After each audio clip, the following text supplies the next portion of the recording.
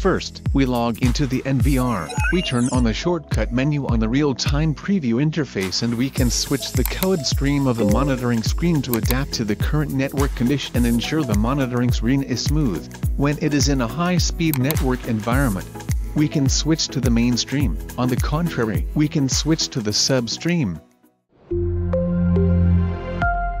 Longse, more secure, more intelligent.